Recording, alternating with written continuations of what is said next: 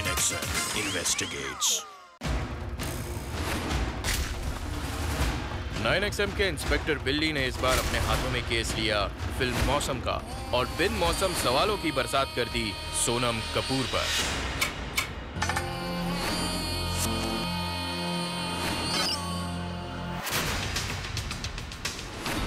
Inspector बिल्ली का पहला सवाल सोनम से उनके रोल के बारे में था। आखिर वो फ़िल्म में कर क्या रही है?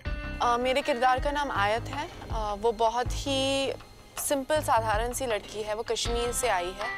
वो एक फिक्शनल टाउन मलुकोट में अपनी फैमिली के साथ आती है।